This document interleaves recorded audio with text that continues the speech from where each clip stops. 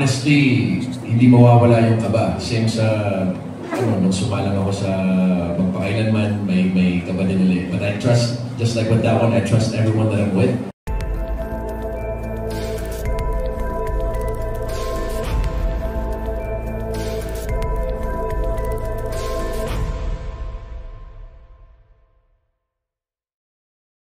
Ano muna yung last film?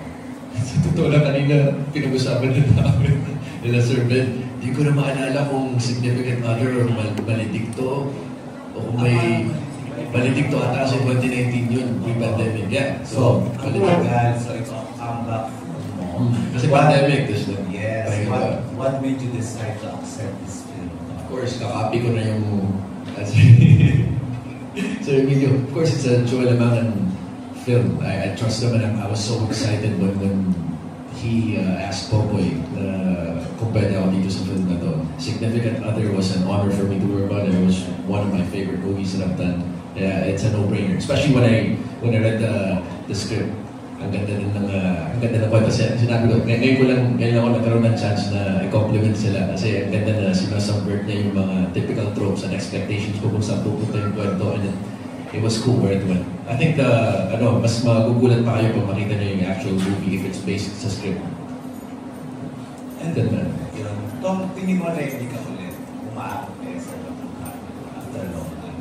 Honestly, hindi mawawala yung kaba. Same sa, ano, nung sumalang ako sa magpakailanman, may, may kaba din ulit. But I trust, just like with that one, I trust everyone that I'm with, and I'm just willing to throw myself into the work and ride that wave. And last question for you, Tom. Are you here to stay? yeah. Yeah. Congratulations. Okay, uh, this is your comeback film after... Yeah, it is. Eh, ano yung last one?